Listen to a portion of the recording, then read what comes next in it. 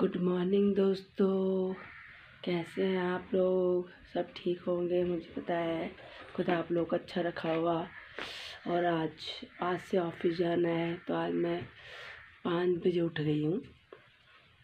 और सब उठ गए तो खुशी ने भी प्रार्थना कर ली है, बारहवीं भी पढ़ ली है, और मैंने भी। तो अभी मैं आपको दिल्ली की ठंड दिखाती हूँ। ये देखो दोस्तों, कितनी धुंध है। ये देखो, कैसे उड़ रहा है।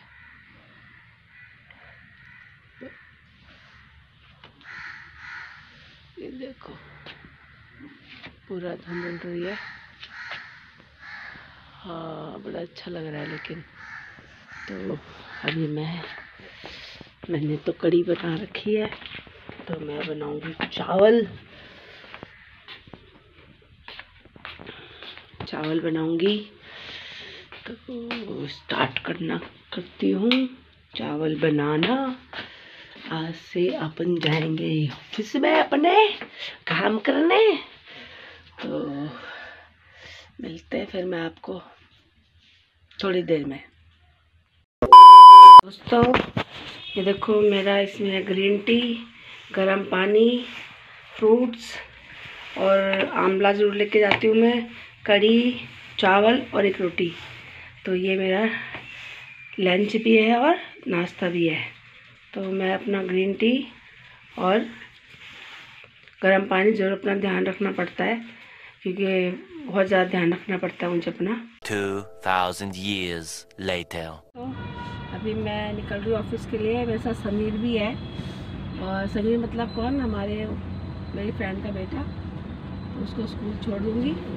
और अभी रेड लाइट हो गई तो मैं अभी मेरे को जल्दी नहीं है, मैं आराम से जाती हूँ, बहुत टाइम है मेरे पास। आठ बजे की ड्यूटी है तो मेरे पास बहुत टाइम है। तो रेड लाइट पार नहीं करना है, और देखो शाम में कितनी धुंध हो रही है आज। आज बहुत धुंध हो रही है। दिल्ली में सबसे ज़्यादा मतलब रही और ऐसा लग रहा है बादल उड़ रहे हैं।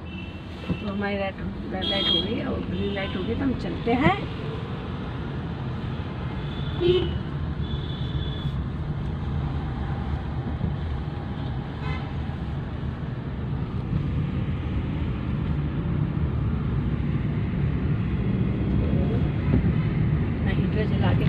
गाड़ी में और आराम आराम से जाएँगे वैसे आज फॉग बहुत है तो हम ये लाइट भी जला लेते हैं। इससे किसी को कोई परेशानी ना हो और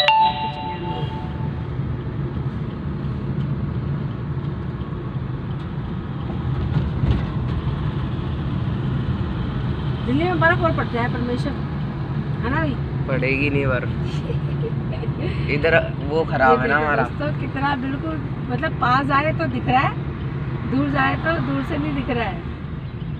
तो देखो फ्रेंड ठंड इधर पोल्यूशन भी ज़्यादा है ना तो पड़ ही नहीं हाँ, सकते। एटमोसफेयर खराब है। हाँ बिल्कुल समीर भी सही कह रहा है। ये भी इलेवन पे है ना तू भी?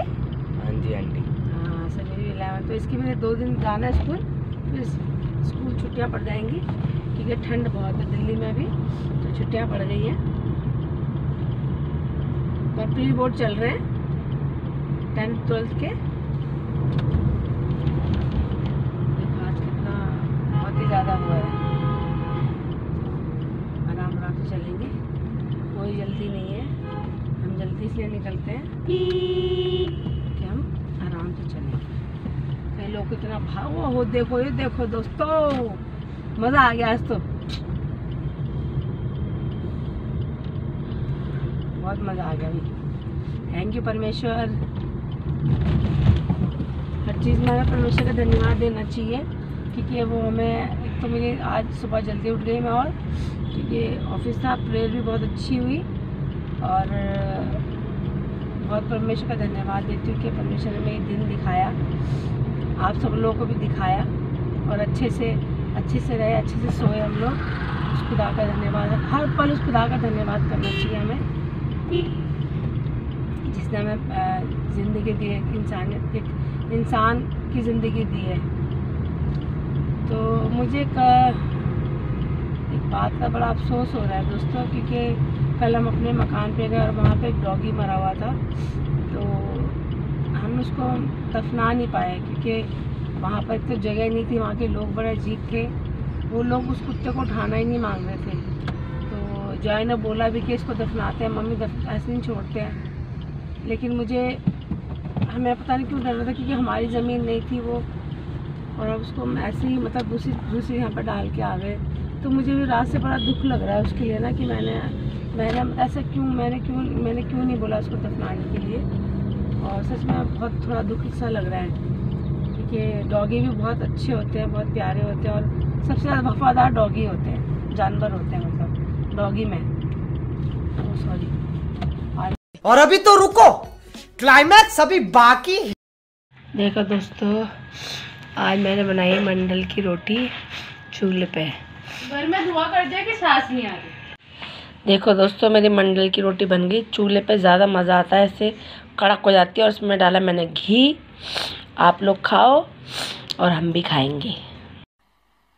मज़ा नहीं आ रहा है। आधा सीताफल की सब्ज़ी भी चूल्हे पे बनाई। और चूल्हे पे ही रोटी बनाई। आ, मैं बताने से इतना मज़ा आ रहा है ना खाने में। बहुत टेस्टी बनी है। सब्ज़ी भी बहुत अच्छी बनी है। एक चूल्हे का जो टेस्ट होता है ना बहुत वाव बता नहीं सकते भाई हम। जो चूल्हे पे खाना खाते हैं वो भी वैसे ही करते होंगे वाव बता नहीं सकते हम। वैसे मैं भी बोल रही हूँ। हाँ मज़ा आ गया मतलब चूल्हे पे खाने पे। मुझे तो रोज़ सुबह समय से चूल्हे पे रोटी मिले बस मेरे तो मज़ा आ जाए। वाह क्या सीन है? वाह क्या सीन है? गुड नाइट दोस्तों। अब हम सोने जा रहे हैं। आप लोग भी सोइए और प्रे करते हैं। खुदा बाप आपको बहुत अच्छे से रखे आपके घर में खुशियाँ लाए। आपके जीवन में बहुत बरकत लाए आपके घर में बहुत बरकत लाए, और आप बहुत आगे जाओ। आप लोग बस मुझे ऐसे ही प्यार देते रहो दोस्तों। आप सबके प्यार का बहुत बहुत शुक्रिया कि आपने अभी तक इतना प्यार दे रहे हैं मेरे को। उसके लिए धन्यवाद आपका। और आपको सिर्फ़ दुआ करना चाहती हूँ खुदा आप लोग को बहुत खुश रखे, और सब प्रार्थना, सब कुछ आपको सारी आशीषें दे, सारी ब्लेसिंग दे, और अब हम सोने जा रहे हैं। आप सबको गुड नाइट बाय